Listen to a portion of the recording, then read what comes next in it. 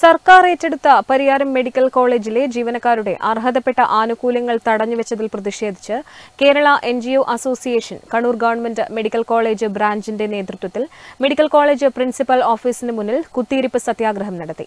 Branch president Shri P I Sreedharan ഉദ്ഘാടനം ചെയ്തു. സംഘങ്ങൾ വർഗവഞ്ചക സംഘങ്ങൾ വർഗവഞ്ചക സംഘങ്ങൾ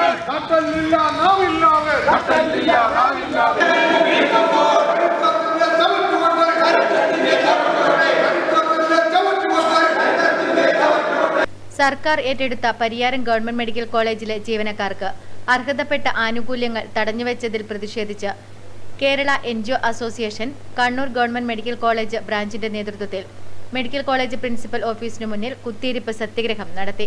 വർഷങ്ങളായി തടഞ്ഞുവെച്ച ക്ഷാമബത്ത ഗ്രേഡ് പ്രമോഷൻ ശമ്പള പരിഷ്കരണം സർക്കാർ ഉത്തരവുണ്ടായിട്ടും നൽകാൻ കൂട്ടാക്കാത്ത ലീവ് സറണ്ടർ തുടങ്ങിയ ആനുകൂല്യങ്ങൾ ഉടൻ അനുവദിക്കണമെന്ന ആവശ്യം സത്യഗ്രഹ സമരത്തെ അഭിസംബോധന ചെയ്ത് സംസാരിച്ച മുഴുവൻ പേരും ഉന്നയിച്ചു.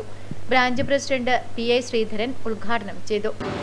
സർക്കാർ ഏറ്റെടുക്കുമ്പോൾ ജനങ്ങളും അതുപോലെ തന്നെ ജീവനക്കാരും വിചാരിച്ചത് എന്തെങ്കിലും ഗുണപരമായ മാറ്റം ജനങ്ങൾക്കുണ്ടാകും ജീവനക്കാർക്കുണ്ടാകും എന്നാണ്.